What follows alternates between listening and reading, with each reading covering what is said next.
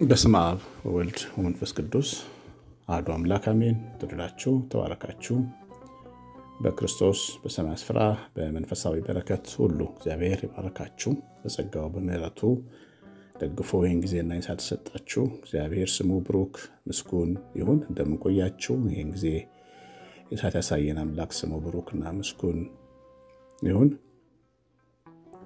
ቤተሰቦቼ እንኳን ለበዓለ ጰራቅሊጦስ በሰላም በጤና ደረሰን አደረሳችሁ። ትናንት መንፈስ ቅዱስ የወረደበትን ቀን የምናከብርበት በዓል ነበረ። መንፈስ ቅዱስ በመውረዱ ቤተክርስቲያን በአዲስ ልደት እንደገና ተወልዳለች።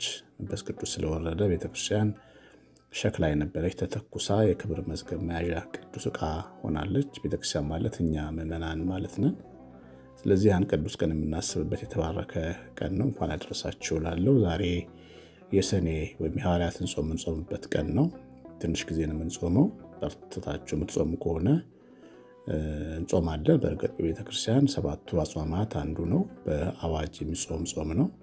አንደኛ አምሳ ቀን በተድላን የቆየ ነው። ትንሽ ረፍት የምናደርግበት ንስሐ የምንገባበት ራሳችንን የምናይበት የጾም ጊዜ ስለሆነ መጾሙ በጣም ጥሩ ነው። ከቅም በላይ ችግር የገጠማችሁና ማትጾሙ ሰዎችም ግን አንድ ላይ በጋራ የምንሰራው ስራ ቢኖር ጥሩ ነው።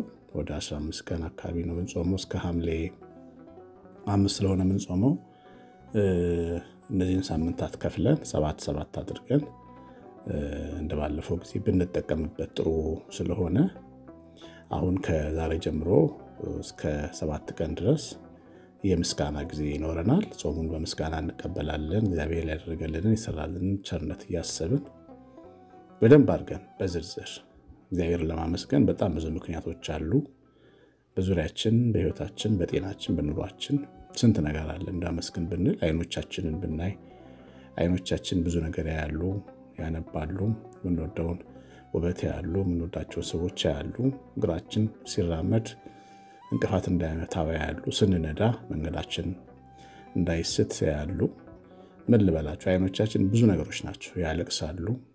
ስሜታችንን ልባችንን በቋንቋ እንናገርባቸዋለን። እግዚአብሔር ዓይንን ስለሰጠን ምስጋና ይገባዋል ማለት ከቅርባችን መጀመር። አፍንጫችን አየር ያስወጣል፣ ያስገባል፣ ያሸታል፣ ውበት ነው። ጥቅሙ ብዙ ነው።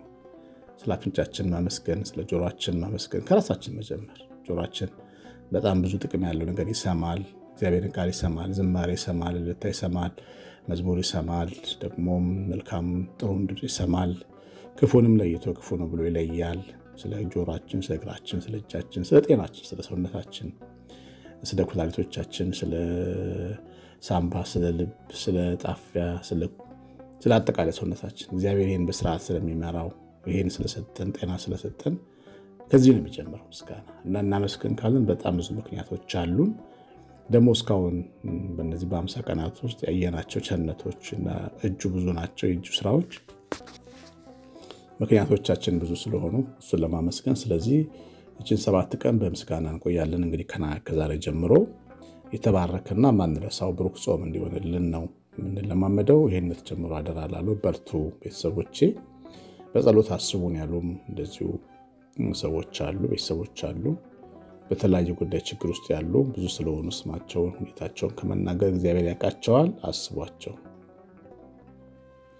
እግዚአብሔር እናንተና ቤታችሁን ይባርክ። እንግዲህ ዛሬው መልእክት በሉቃስ ወንጌል ምዕራፍ 11 ላይ ቁጥር 11 ላይ ያለ መልእክት ነው። 11 11 ምን ይላል? ሕዝቡም አውቀው ተከተሉት፣ ተቀብሏቸውም ስለ እግዚአብሔር መንግሥት ይነግራቸው ነበር። መፈወስ ያስፈልጋቸውንም ፈወሳቸው ይላል። እንግዲህ ከክርስቶስ ጋር የነበረው ሕዝብ በክርስቶስ ለመጠቀም ማለፍ የሚገባውን ቅደም ተከተል ነው የሚያሳየው። እንዳያችሁት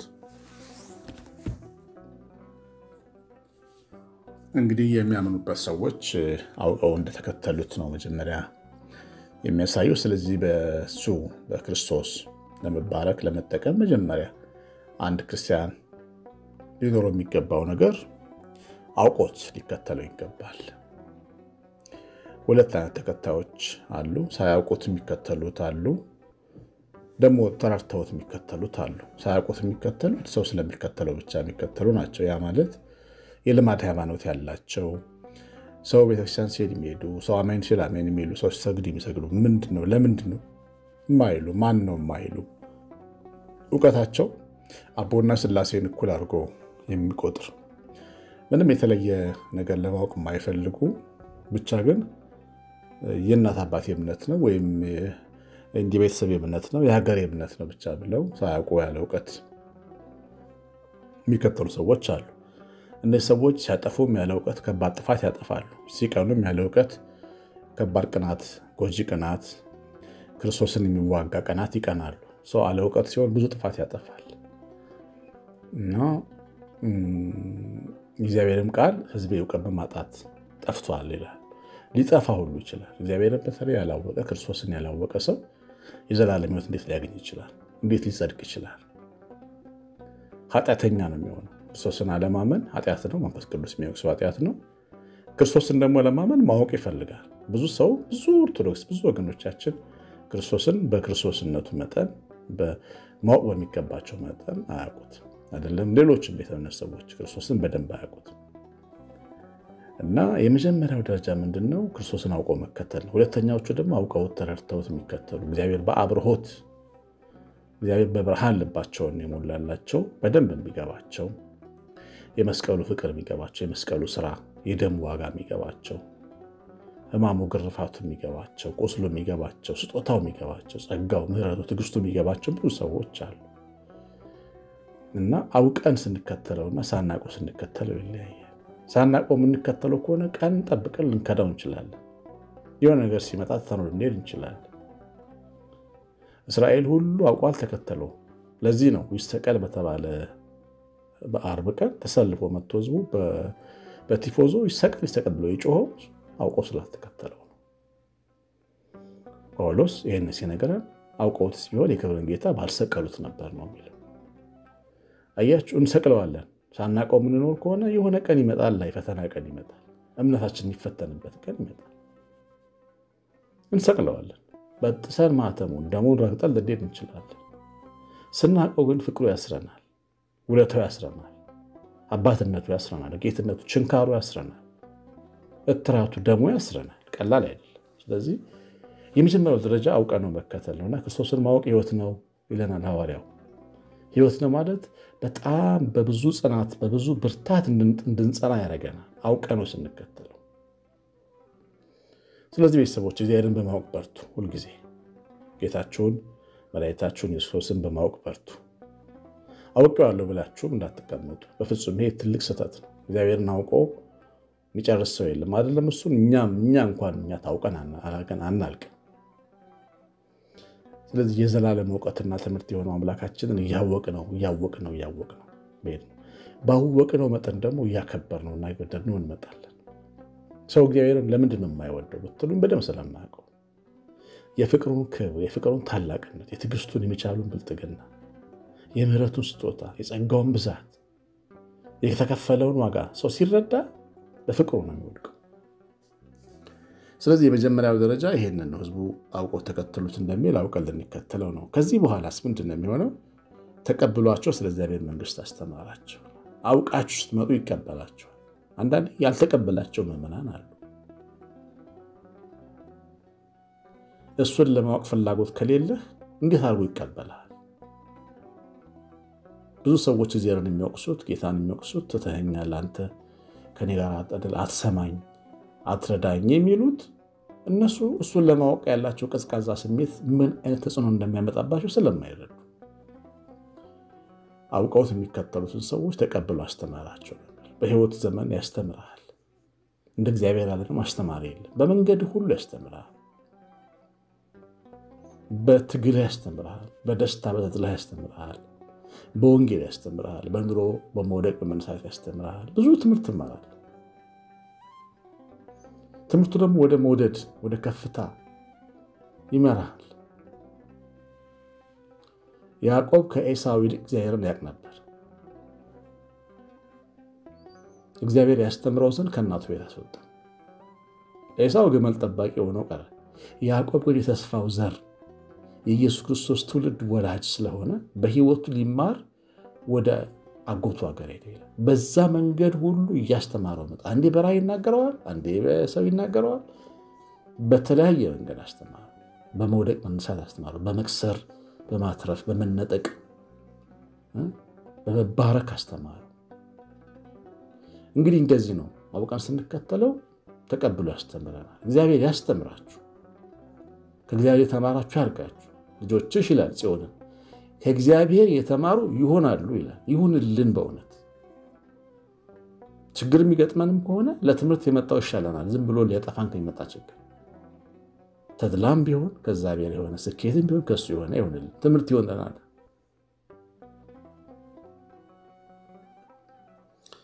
እግዚአብሔር እያስተማራችሁ ያላችሁ ሰዎች ደስ ብላችሁ ተማሩ። እድለኛ ስለሆናችሁ እንዳት ስለተቀበላችሁ እንደሆነ እወቁ። ልባችሁ እየተነካ የምትማሩ ሰዎች ልባችሁ የማይነካ ሰዎች አውቃችሁት ለመከተል ደግሞ ትጉ። ንጉሳችሁ በልባችሁ ተራራ ላይ እንዲሄድ በልባችሁ ሜዳ ላይ እንዲሄድ ተራራው ሜዳ ይሆን፣ መንገዱ ይጠረጉለት። አውቃችሁት የምታመልኩት ደግሞ ልባችሁን የነካ የሚያስተምራችሁ በርትታችሁ ተማሩ። ተናገረኝ ባሪያ ይሰማል፣ ጌታዊ ተናገር በሉት እንበሉ። እንግዲህ ሁለተኛው ነገር ይሄ ነው። ሁለተኛው ደረጃ እግዚአብሔር ተቀብሎ ያስተምረናል። ብዙ ሰዎችን ብዙ ምዕልፍ አእላፍ ሰዎችን እግዚአብሔር በየጣራቸው በታች ያስተምራቸዋል። በማጣት የሚያስተምራቸዋሉ፣ በመከዳት የሚያስተምራቸዋሉ፣ በሙላት የሚያስተምራቸዋሉ፣ በበረከት የሚያስተምራቸዋሉ፣ በጥም በረሃብ በብቸኝነት የሚያስተምራቸዋሉ። ስንቱን ያስተምራል እግዚአብሔር። ረቢያችን ስሙ ብሩክ ይሁን። ሶስተኛው መፈወስ የሚገባቸው ፈወሳቸው የሚለው አሁን አንዳንድ ሰው ጋኔን ያለበታል። ጤነኛ ሰው ነው፣ ግን በተለያየ ሁኔታ ጋኔን ተሸክሞ የሚሄዳል። የማይለፈልፍ ደዌ ያለበታል፣ ጭንቀት ያለበታል፣ የስነ ልቦና በሽተኛ ያለ ግን ሶስተኛው ደረጃ ነው መፈወስን እንዲፈውሰን አውቀን ልንከተለው ሲናገረን ሲያስተምረን ልንማር ይገባል። ከዛ ፍጹም ጤና ያደረገን ዘንድ መፈወስ ይጀምራል። ልባችን ይፈወሳል፣ ዓይናችን ይከፈታል፣ ጆሮቻችን ይከፈታል፣ እዝነ ልቦናችን ይከፈታል። እላያችን ላይ ያለው ስድ ተሰዶ ይወጣል። እርኩሱ መንፈስ ተሰዶ ይወጣል፣ ወደ ጥልቁ ይሄዳል። እግዚአብሔር ይገስጸውና ከላያችን ይወድቃል፣ ከላያችን ይወድቃል። በጌርጌሴኖን መቃብር የነበረውን ያን ወጣት ታስታውሱታላችሁ አይደል? በመጀመሪያ እግዚአብሔር ልጅ እግዚአብሔር ልጅ ብሎ ጮኸ እኮ ነው የሚለው በሉያ ብሱ ላይ የነበረ መንፈስ በመጀመሪያ አወቀው እግዚአብሔር ልጅ እንደሆነ አወቀው። ስታውቁት፣ ቦታ ስትሰጡት፣ ትኩረት ስትሰጡት እግዚአብሔር ልክ እንደ ፍቅረኛ ነው የሚያደርገው። ትኩረት ይፈልጋል። ከዚህ ቀደም ነግራቸዋለሁ። እንደ ሕፃንና እንደ ፍቅረኛ ያደርገዋል። እግዚአብሔር ትኩረት ስትሰጡት ከእናንተ ጋር በታት ይጀምራል። ኢግኖር አድርገው የሚኖሩ ሰዎች አሉ። እግዚአብሔር ጌታ እሳት አደጋ የሚጠራው እሳት ሲነሳ እንደሆነ ሁሉ ችግር ሲገጥማቸው ብቻ እግዚአብሔር የሚጠሩ ሰዎች አሉ። እናንተ ግን እንደዚህ እንዳትሉ ተጠንቀቁ ቤተሰቦች። ከዛ ፈውስ ይፈውሳል። በምሕረቱ ልብ ይከፍታል፣ ዓይናችንን ይኩላል መንፈሳችን ይፈወሳል። ከላያችን ያለ ጋኔን ይሰደዳል። አእምሯችን በጥበብ ይሞላል። ማናቃቸውን እናውቃለን። መንፈሳችን ይፈወሳል። ቤታችን፣ ትዳራችን ይፈወሳል። የልጆቻችን ችግር ይፈወሳል። የእናት አባት ጣጣ ያለበት ሁሉ ይፈወሳል። ፈውስ በፈውስ ነው የሚያደርገን። ከዛ ይፈታናል፣ ይፈታናል። ክብር ይግባው። መፈወስ የሚገባቸውን ሁሉ ፈወሳቸው ይላል።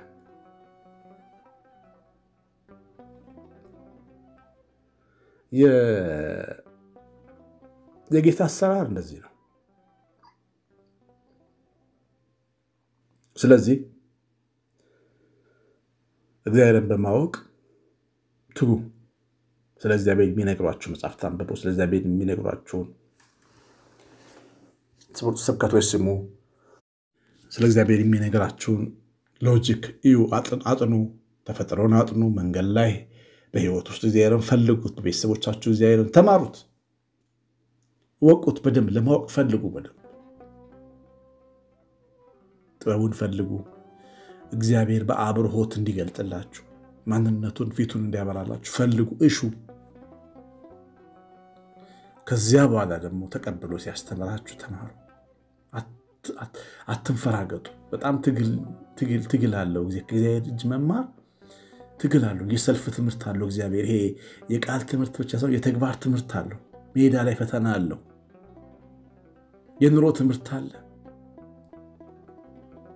አንድ መሐንዲስ ምህንድስና ተምሮ ያንን ተግባራዊ ለማድረግ ወደ ፊልድ እንደሚወጣ ፈቀቅ ብሎ ይዞ ይሄዳል። መንገድ ላይ፣ ህይወት ላይ፣ ትዳር ላይ፣ ስራ ላይ፣ አገልግሎት ላይ፣ ጓደኝነት ላይ፣ ፍቅር ላይ ተግባራዊ እንድታደርገው ያደርጋል። ያማል። ያዕቆብ ሲገረዝ፣ ይስሐቅ ሲገረዝ እንዳመመው አብርሃም ሲገርዘው እንዳመመው ያመሃል። አባት ሲገርዝ እያስተማረ ነዋ ተቀብሎ። ትምህርት ደግሞ ሸለፈትን መግረዝ ማለት ነው። ማይጠቅሙ ቆርጦ በጣል። እግዚአብሔር በዚህ መንገድ ሲያስተምር ትዕግስት ይፈልጋል። ብዙ ሰዎች በሰንበት ትምህርት ቤትን በማህበራትን ቁጭ ብለው የፊደሉን ትምህርት ተምረውታል። እግዚአብሔር አንድም ሶስትም ነው፣ አምስቱ አዕማደ ምስጢራት፣ ምስጢረ ሥጋዌ፣ ምስጢረ ጥምቀት ምናምን በጣም ተምረዋል። በምስጢረ ሥጋዌ ውስጥ ያለውን የኢየሱስን መከራ ግን መሸከም አቅቷቸው ተበትነዋል። ትምህርቱን በተግባር ሲጀምር እግዚአብሔር ትተው ብዙዎቹ አቋርጠው ስደት ፈርተው አፈግፍገዋል። ለኢየሱስ ክርስቶስ ስም መሰደድን እምቢ ብለው ጠፍተዋል። ከዓለም ጋር ተመሳስለው ኖረዋል። አያችሁ፣ እግዚአብሔር አስተምሮ በተግባር ይፈትናል፣ በተግባር ይመክራል። ያኔ ሰው ትዕግስት ሊያጣ ይችላል። ስለዚህ ሲያስተምረን መማር መንፈራገጥ ማቆም አለብን። መሰራት የሚገባውን ሁሉ ይስራ። በሕይወታችን ልባችንን ይስራ፣ መንፈሳችንን ይስራ፣ ማንነታችንን፣ ስብዕናችንን ይስራ፣ ህልውናችንን ይስራ። እሱ ካሰራን ማን ይሰራናል? እናቴ በኃጢአት ወለደችኝ እኮ ነው ያለው ዳዊት። እኛ እኮ የተወለድነው በኃጢአት እኮ ኃጢአት እኮ የወለደ ዓለም እንዳለ የተቀበለን በኃጢአት ነው። የኃጢአት ምንጣፍ አንጥፎ የበደል አበባ እየበተነ የተቀበለን ወደዚህ ያለ የተበላሸው እኛነታችንን ሊያስተካክል ሲጀምር ከተንፈራገጠ እንዴት ይሆናል? ስለዚህ እግዚአብሔር ሲያስተምር መማር ከዛ ይፈውሳል። መፈወስን ሁሉ ይፈውሳል። እግዚአብሔር ሁላችንን ይፈውስ በመንፈሱ ይንካል እና ይህ እነዚህን ቅድመ ሁኔታዎች በደንብ መከተል ይገባል። ይበቃናል። ይቆየን። የሰማነውን በልቦናችን ጻፍልን። እግዚአብሔር ቸርነት፣ እናታችን እመቤታችን በረከት፣ የመላእክት ጥበቃ አብሮን ይሁን። ጾሙንና የሰባቱን ቀን የምስጋና መርሐ ግብር እንዳትረሱ። ጸጋው ይደግፈን። ቀሲስ አሸናፊ ገብረማርያም ነኝ።